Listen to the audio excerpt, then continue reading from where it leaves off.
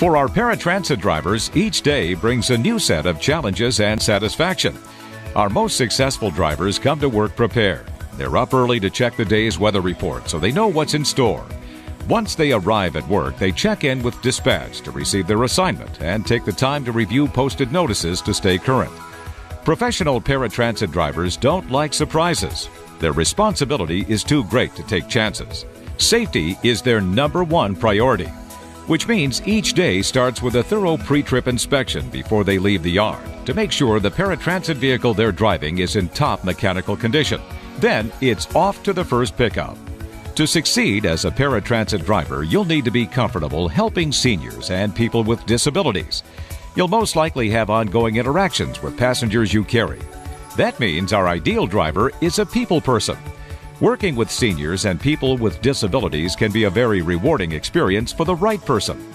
But these rewards come with some serious responsibilities. There are three serious considerations you need to be aware of.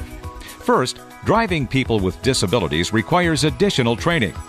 Many of your passengers will be boarding with mobility devices. You must learn to operate passenger lifts, securement devices, and other types of equipment. If you're intimidated by using this type of equipment, this might not be the career for you.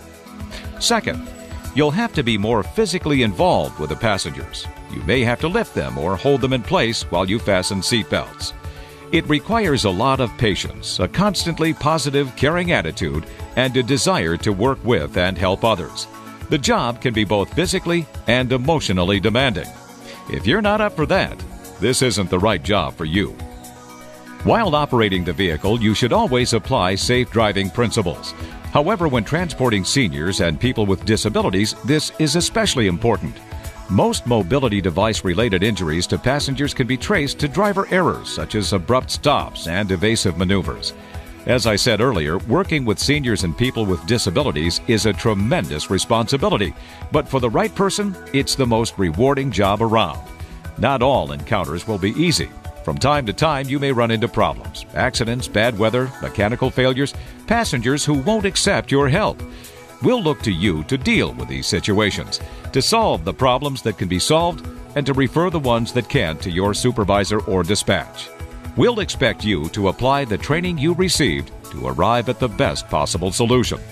If you aren't comfortable dealing with the responsibilities on this level, you might not be comfortable or successful working as a paratransit driver.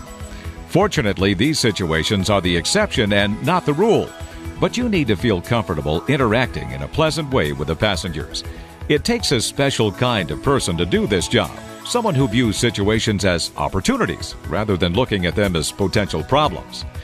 At the end of the day, paratransit drivers head back to the lot and perform a post trip inspection. This involves walking through the vehicle to make sure it's still in top condition and to check for lost items.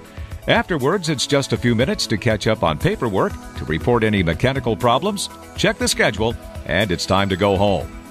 A career as a paratransit driver for MV Transportation gives you the opportunity to provide safe, reliable, and efficient transportation to the community.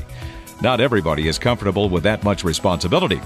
If you're the type of person who is more at ease simply taking orders and doing the same thing every day, then you might not be happy or successful working as a paratransit driver. But if you're the type of person who wants the opportunity to succeed, to learn and grow, to take responsibility, and to interact with the community, then this could be the end of your career search.